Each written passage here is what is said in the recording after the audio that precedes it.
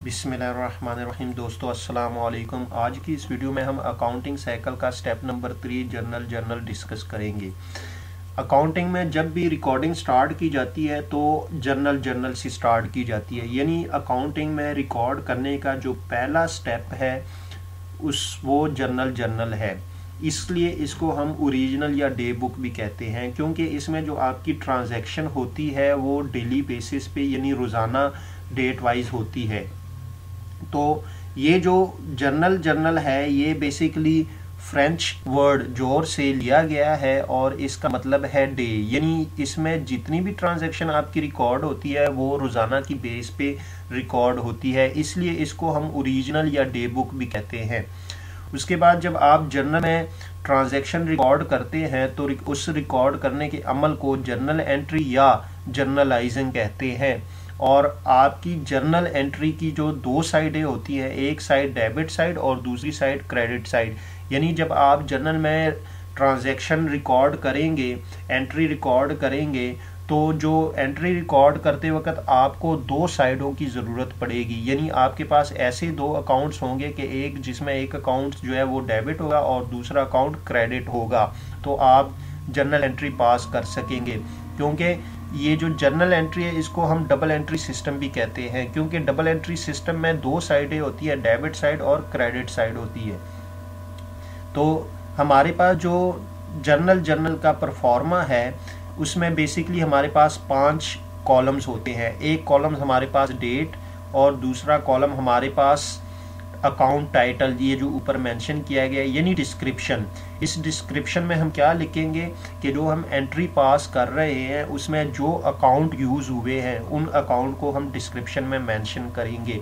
उसके बाद हमारे पास आता है रेफर पोस्टिंग रेफरेंस यानी एल एफ़ एल एफ़ से मुराद है लेजर फोलियो यानी हम जब जर्नल में एंट्री पास करेंगे तो ये जर्नल में एंट्री पास करने के बाद जब ये लेजर में इसकी यानी पोस्टिंग होगी तो जो लेजर में जिस पेज पर इसकी पोस्टिंग होगी, उस पेज का नंबर जो है हम यहाँ पे एल एफ़ में लिख लेंगे। तो इसी तरह हमारे पास डेबिट में जो अकाउंट डेबिट होगा, उसमें डेबिट साइड पे अमाउंट लिख लेंगे और जो अकाउंट क्रेडिट होगा, उसकी अमाउंट हम क्रेडिट साइड पे लिख लेंगे। यानी हमारे पास जो एक एंट्री पास होगी, अब देखें, हम यहाँ पे एक एंट्री देखते हैं कि आज की डेट में हमने बिज़नेस में कैश इंट्रोड्यूस किया। Business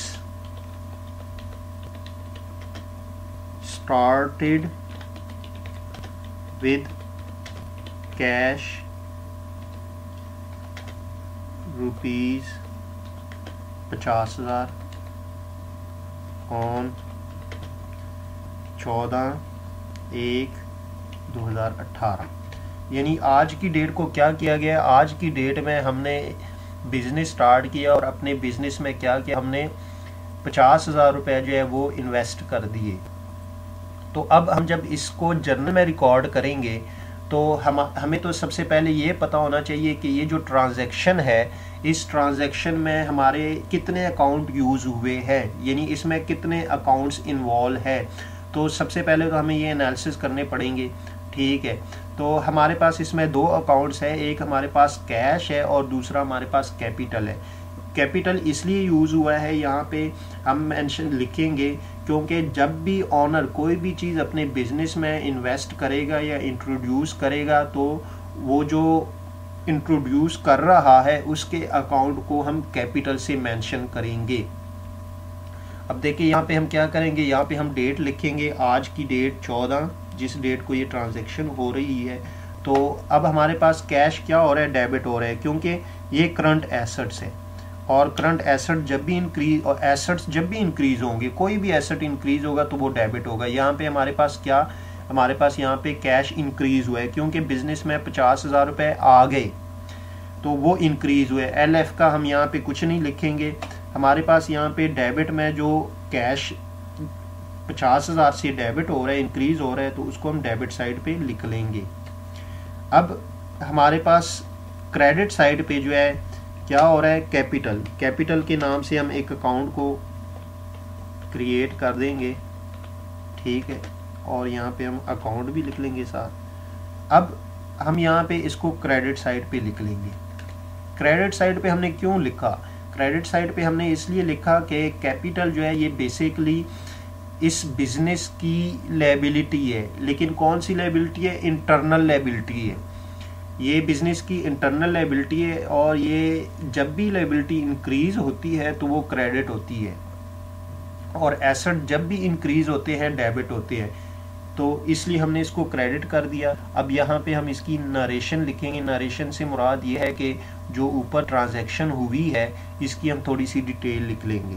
ठीक है? यहाँ पे हम लिख लेंगे कि business started with cash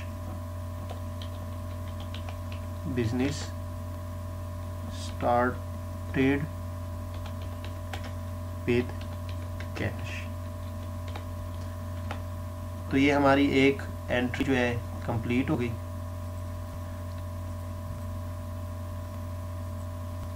ये हमारी एक एंट्री कंप्लीट होगी इसी तरह आप दूसरी एंट्री जिस डेट को हुई होगी तो उसको भी आप इसी तरह ही रिकॉर्ड कर सकते हैं या जर्नलाइजिंग कर सकते हैं इन जर्नल में। तो दोस्तों, ये अकाउंटिंग में रिकॉर्डिंग का, यानी आप रिकॉर्डिंग का सबसे पहला स्टेप है। आप कोई भी एंट्री पास करेंगे, सबसे पहले आप जर्नल में पास करेंगे फिर वो फर्दर जो है आपके जो अकाउंट्स होंगे या बुक्स जितनी बाकी बुक्स होंगी, ये जर्नल के बाद उसमें ट्रांसफ़र होंगे।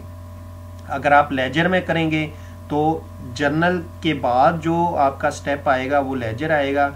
जर्नल में जब आप रिकॉर्ड करते हैं, उस रिकॉर्डिंग के प्रोसेस को हम कहते हैं जर्नलाइजिंग लेकिन जब आप लेजर में रिकॉर्ड करेंगे तो उस प्रोसेस को हम कहेंगे पोस्टिंग यानी जर्नल से जब आप लेजर में जाएँगे, जो रिकॉर्ड करेंगे तो उस प्रोसेस को हम कहेंगे पोस्टिंग दोस्तों, उम्मीद करता हूँ कि ये वीडियो आप लोगों को पसंद आई होगी। अगर पसंद आई है तो प्लीज़ प्लीज़ सब्सक्राइब लाइक और शेयर करना मत भूलिएगा।